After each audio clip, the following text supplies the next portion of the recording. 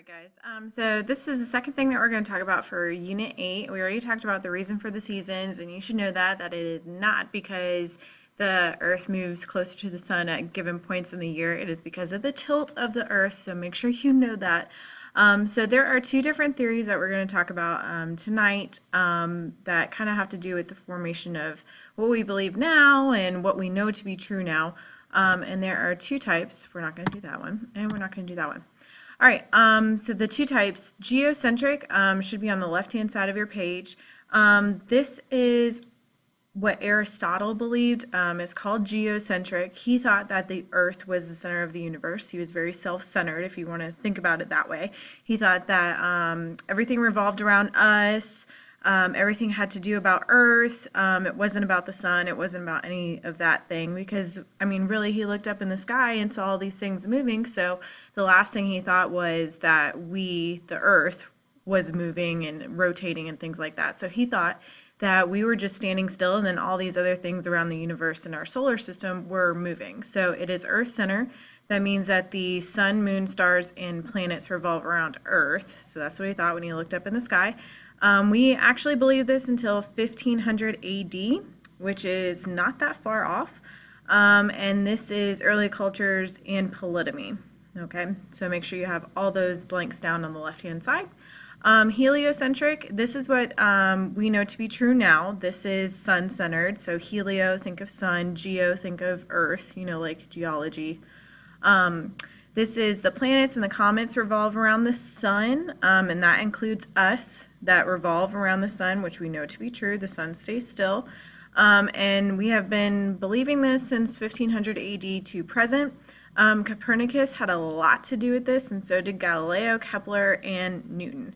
If you know about Newton's uh, three laws and Kepler's laws as well, um, you might know a little bit more about it. So Make sure you have both of these uh, theories down because they're very, very, very important when we talk about the formation of uh, what we believe now and theories and how we kind of develop to figure out what uh, is actually going on.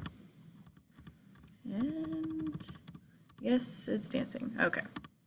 Um, so you should also have this on your paper. Um, you can label it if you want to with the um, theory. This is geocentric with the Earth in the middle.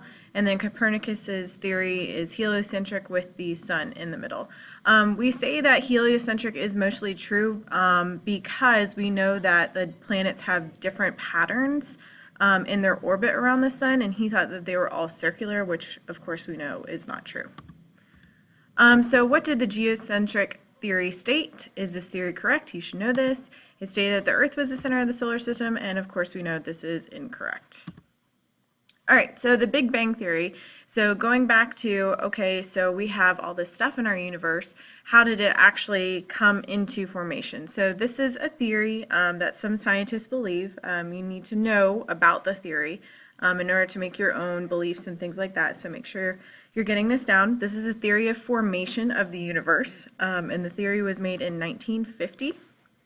This is where matter, time, and energy were compressed into an extremely small ball and it was very, very unstable. So if you think about everything that we have now in our universe all in one tiny piece of matter, um, and then all of a sudden it exploded and they have dated it back to about 13 to 14 billion years ago.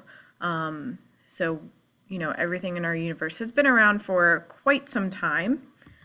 Um, and then every hour, the universe actually expands by a billion miles in all directions. So actually, there's a whole different science about this. We could talk about this in class, but um, it is proven. You can look in um, different telescopes and see how they're how things are moving. If it gives off like a red glare, um, it means that it's moving away. If it gives off a blue glare, it means it's coming towards us.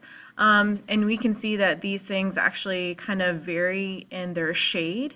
So we can tell, um, you know, if they're moving quickly or moving fast, but everything is actually kind of moving away from each other um, because it's still kind of exploding, if you want to think about it that way. Um, and that's what scientists believe.